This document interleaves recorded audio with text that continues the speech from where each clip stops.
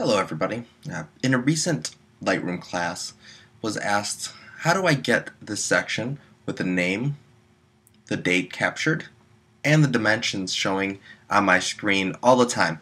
Um, and it's actually really simple. I couldn't remember exactly the spot in class because I've had this uh, set up for quite some time, uh, but I knew roughly where I needed to go. And I'm going to show you in this uh, quick video how to do that.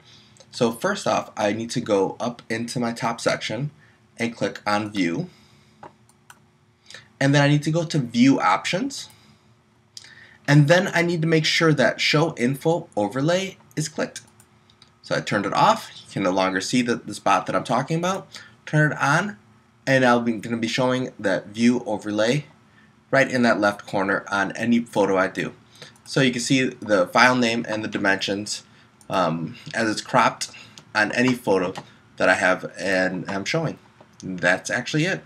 Just one simple click to make it show. Thanks.